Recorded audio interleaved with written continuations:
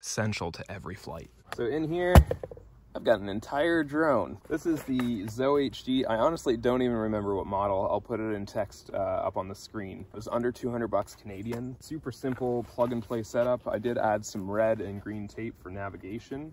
But I'll show you just how easy it is to actually set this up, right? You got one captive thumb screw.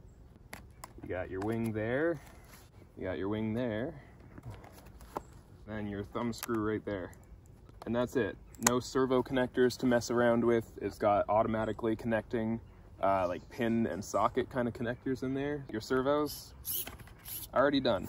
Only one thing I did notice, these hinges are just uh, kind of heat pressed foam, right?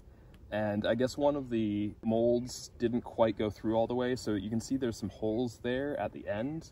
And without them, uh, it's a little stiff to move the aileron. So I did have to clear out those holes um, but it only took a few minutes to do that. And then to get the tail on, all you have to do is seriously, it's this easy. You just put it in like that, lock it down like that, and the servo connector just goes in the middle hole there, and you snap it shut like that. That's it. That's assembly of this plane. It did come with an XT30 connector, little itty bitty weight saving, space saving connector. Uh, I don't have any XT30 batteries. I always use XT60. That's what my entire systems are standardized around. So I did switch it out for an XT60 connector. I know that's a little heavier and I know it takes up more space, but you've got plenty of space here. And I'm using these Z, uh, 1300 milliamp 120C batteries. I think that is an exaggeration. They're an Amazon special. For CG, I literally just shove the battery all the way back, turn on the radio first, and I'll get to the radio in a second, and shove the battery all the way back. I'm gonna hold it steady, nice and level for a second, and you'll see the servos jitter. There we go, it's going through its startup signal.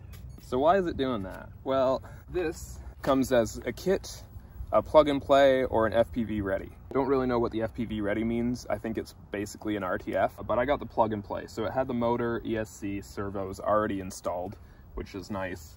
I just had to drop in my own radio and battery. And so I dropped in, I hope you can see it there.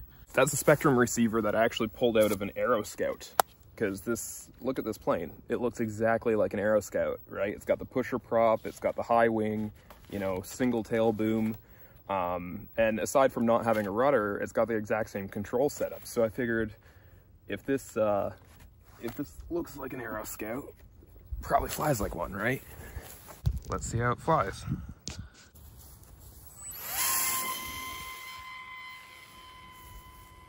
You'll have to excuse the bad camera work working alone here, but I wanted to go over just how easy this thing was to fly right out of the box with the CG from the battery being shoved all the way back. I had a pretty good experience right off the bat. I would say actually don't go much further forward than that. There are some bumps on the bottom of the wing that are about halfway back from the leading edge.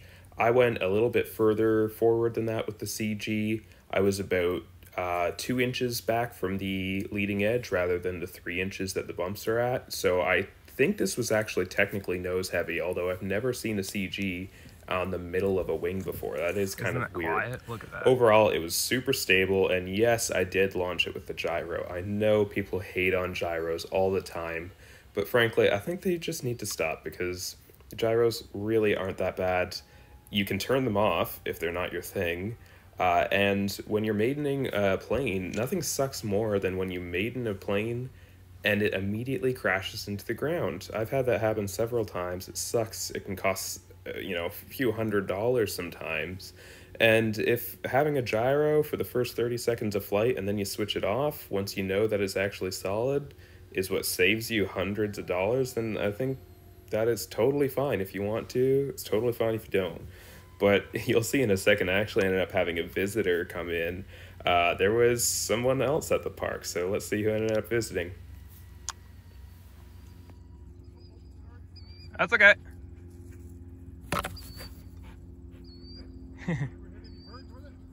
uh, no, but I've had a bird uh, kind of try and fight one before. Uh, I had a live feed camera on it, and um, you could see a turkey vulture, you know, at first was getting pretty close to it. It didn't like it at first, but eventually we kind of made some friend made friends over a few weeks. It's my first day out with this one. Just a little electric one. You've been here before with other. Uh, yeah. So there's me and one other guy. Um, he builds a lot of his own. Um, and then I've had a giant, like six and a half foot one out here before.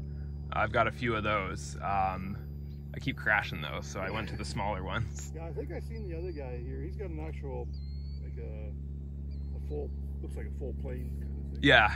Yeah, this one's a little mini one, and the wings and tail come off and fit right in that little box there. And uh, you can see, like, I'm hands off right now, and it's like leveling itself because I have a little uh, computer in it that senses where it's tilted. Yeah. And so it'll counteract the wind, and I can turn it off if I want. Like, I've got it off right now. Uh, and then I'll turn it back on. And I've also got a panic button, so let's kind of get in a bad, right? Like flipping around, and it just levels out for me. So, So it would come right back to you by if you hit a button like a home button. uh, no, this one doesn't have that. Um, I do have some flight computers that could do that. I'd have to add GPS and some software to it. Oh, okay. This one just does like balance kind of sensing. Um, we tried it years ago for Christmas gifts. We gave them all to the kids, right? And it was the cheaper model. Then when they were first coming out, and uh, yeah. no success with it. Yeah, it took me a long time to actually have any of these run smoothly. Like I've been doing this since about 2014. Uh, I, well, I guess my first plane was 2012. Um, I could never get the helicopter type ones to work. oh no. They always flip over. Okay. But these plane ones are a bit easier.